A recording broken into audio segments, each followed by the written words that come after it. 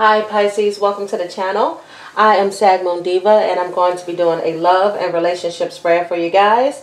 So I'm going to go ahead and start off with the Romance Angels and then get into my new box.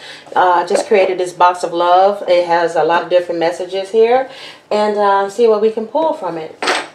So let's go ahead and get started.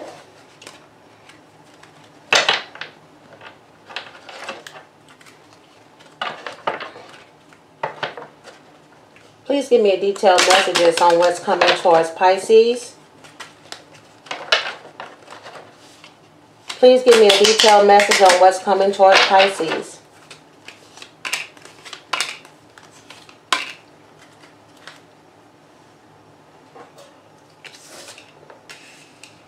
You have very soon. Clearly decide what you want so that it comes to you now. The next card is romantic feelings. Your feelings are real and worth exploring. Your next card is retreat. It's time to disconnect from the world.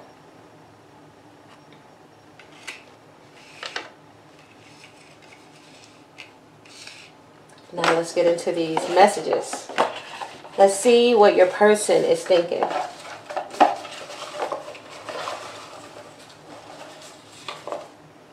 Marriage. Wow. For some of you, this could be a married couple that are coming through, but this could also indicate that someone is interested in marriage. Oh, wow. Soulmate. Someone has a soulmate out there.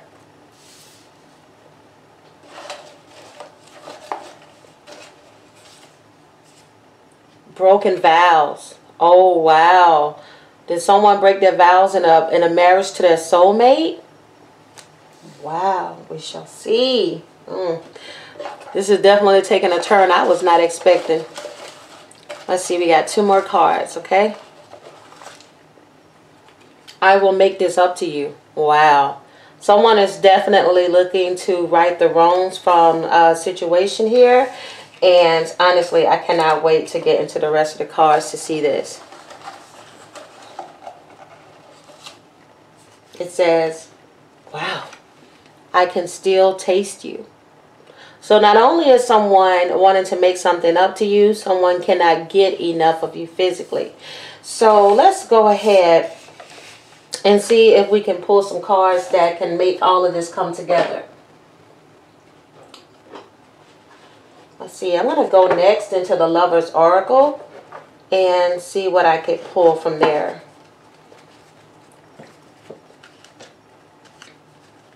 Please give me more details into this situation with Pisces and their person.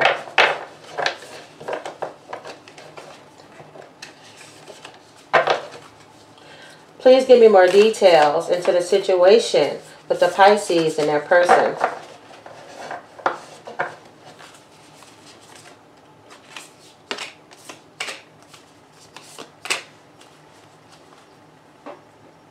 It says, it's important right now to take a step back and spend some time alone instead of placing your focus on another. Now is the time to give to yourself.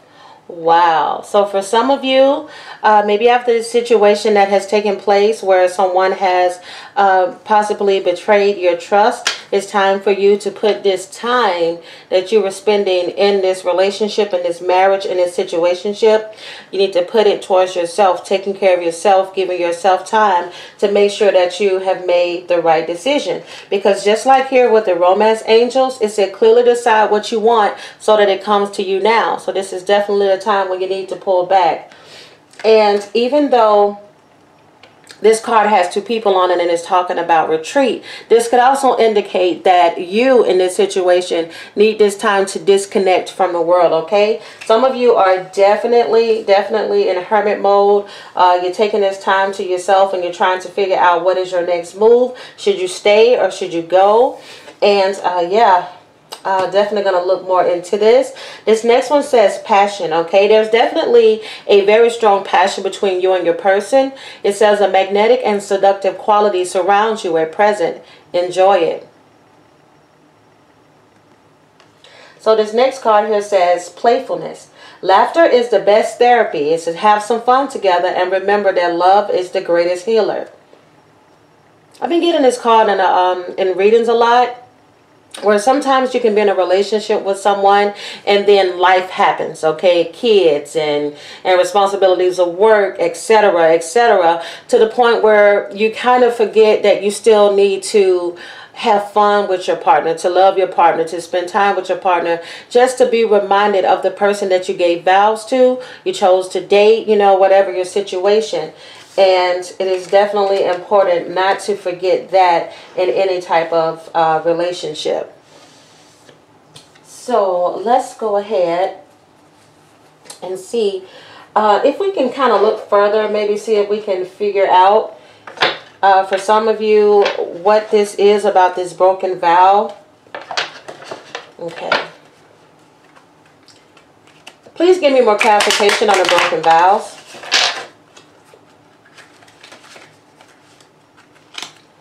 Please give me more clarification on the broken vows.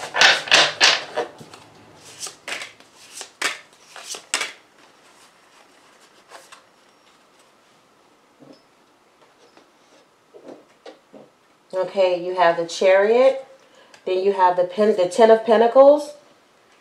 And then you have the eight of chalices.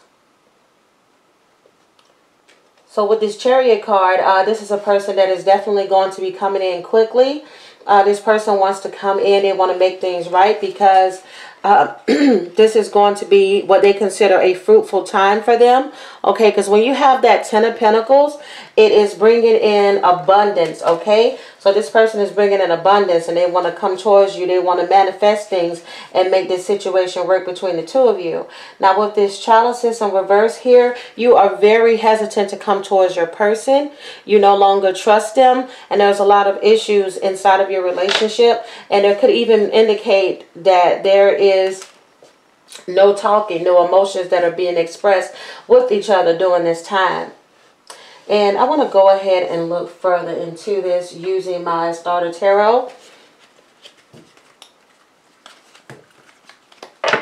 Please give me more clarification, please, for the Pisces and their person. Please give me more clarification until the Pisces in their person.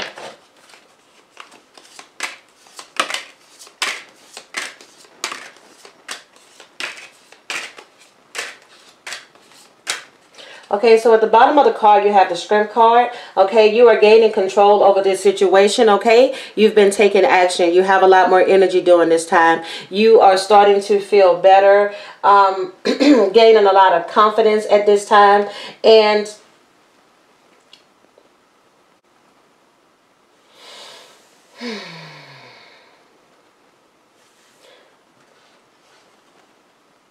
So for the overall of this, you have the strength card. Okay, you are definitely in your element right now after going through this hardship. You're in a situation now where you are in control and you are feeling much more confident during this time, okay? This situation, yeah, it hurts and it still continues to hurt, but you're not allowing yourself to wallow in this situation, okay? Only thing that is bothering you at this time is trying to decide which direction that you want to take.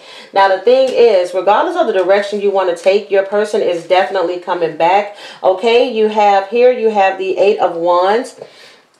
Wait a minute. Mm. So you have this Eight of Wands here and it is in reverse. Yeah, you definitely come out of a period with your person where there's been a lot of disputes. Uh, there's been a lot of issues with um, jealousy. There's been a lot of fighting. It has just been a lot of domestic situations. And for some of you, this could have possibly gotten violent. And the person that you're seeing, it could be an air sign, okay? Because not only do you have the Knight of Swords in your side of the reading, you also have the King of Swords. So, okay, guys, um, I was going to stop this reading and just try to create a new one or just pick up at another time because it just seemed like my energy was very low and I'm I don't know if this is me or if this is coming from the energies that I'm pulling in. But for someone, um, someone, the energy of somebody that is very exhausted.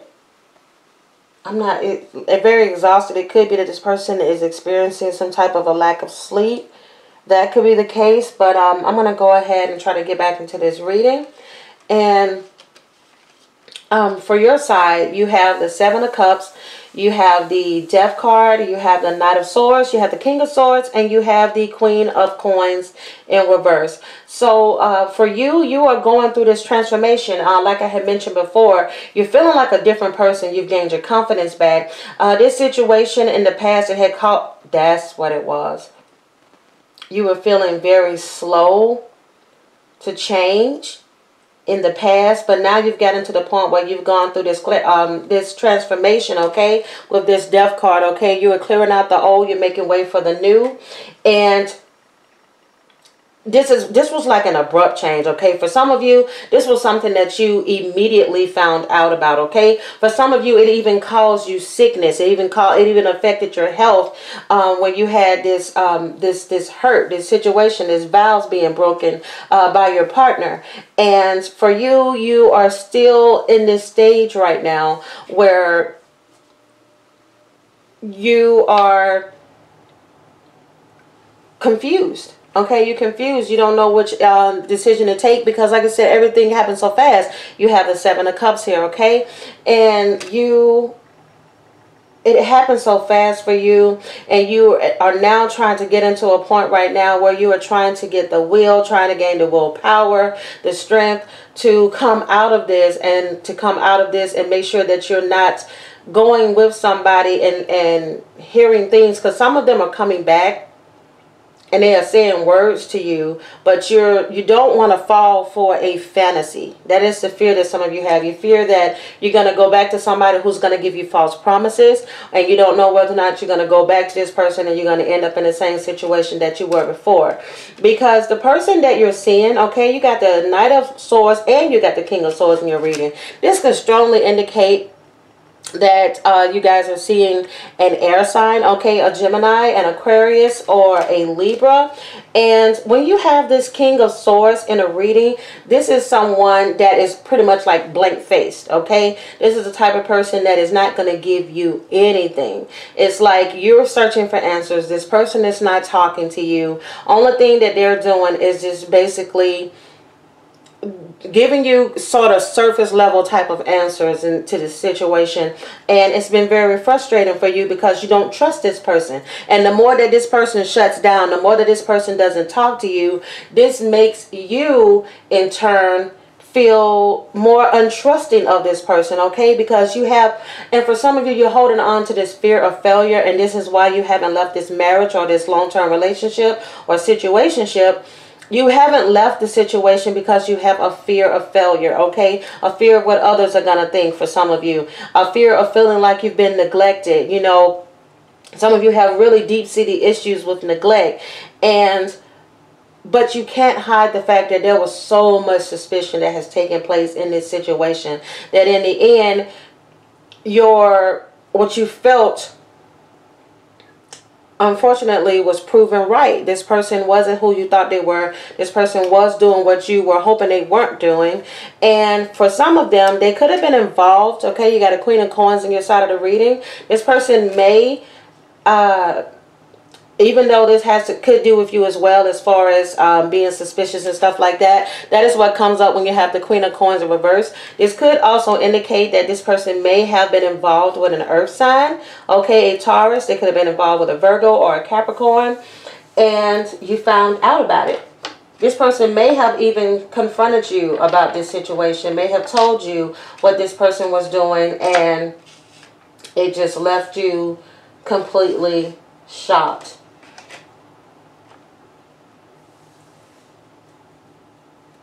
Now, here's the thing. Um, there's a very strong connection between the two of you because for you, you have the Queen of Coins on your side. And then for your person on their side, they have the Knight of Coins, okay? This is a um, a perfect pairing, okay, in, in the court cards for the coins. And both of you are kind of have the energy of being people that are like um, very mature, uh, very prosperous people. They kind of love to live the good life, and um, you you always consider this person to be very dependable. Okay, somebody that you can trust, and then all of this came to a halt okay? For some of you yeah you're definitely married okay? Because you have the emperor card here. And the emperor card is the card of the husband okay and I'm wondering if now this person could have met someone the person they could have been involved with is someone that they work with. Because this person definitely works a lot okay? They spend a lot of time working. And this could have been where if they were involved with someone they could have been working with this person. Hmm.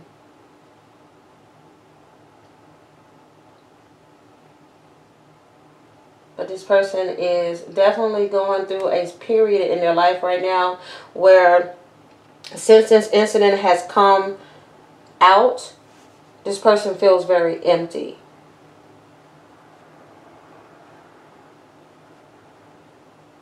hmm. This person feels very empty.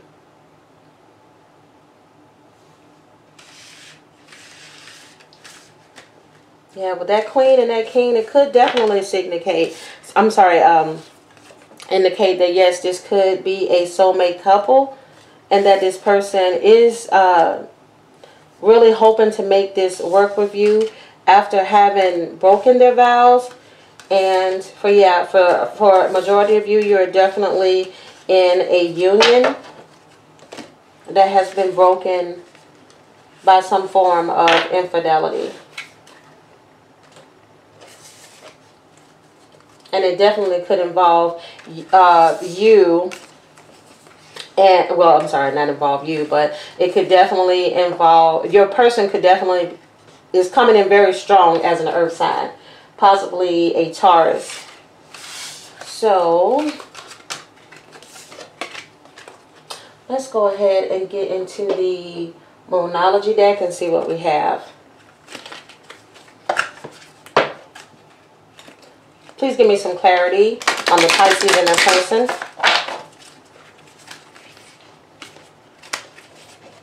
Please give me some clarity on the Pisces and their person.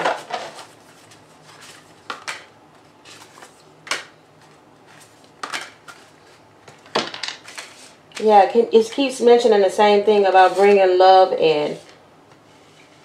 Okay, it's telling you to show the world the real you. Maybe you've been holding back, okay? Maybe in this relationship you felt like you weren't yourself, okay? And then um, I kind of felt like you may have lost yourself in this marriage or this relationship, this situationship.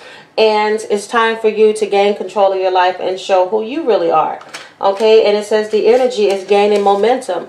Okay the more that you take this time you retreat you stay to yourself you're going to be building yourself to a much stronger person okay? And if this is the person that you are supposed to um, stay with or end up with it says bring love into this situation okay? Because just like it had in the other part of the reading where it talked about um, bringing that playfulness back at some point it went from there being a lot of love in this relationship to there being a lot of fighting, a lot of headbutting, a lot of uh, someone always having to be right. And sometimes, you know, everything doesn't have to be an argument.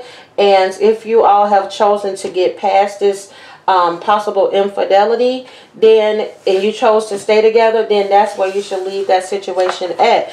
But you cannot get past it until you work through it, okay? And if this person is not willing to open up, especially if this person has vowed to be your partner for the rest of their life and they can't open up, you have to ask yourself, is this really what I want and is this what I deserve?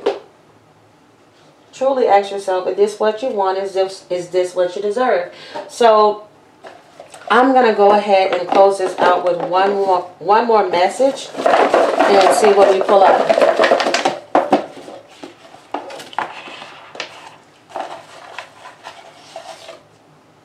Wow.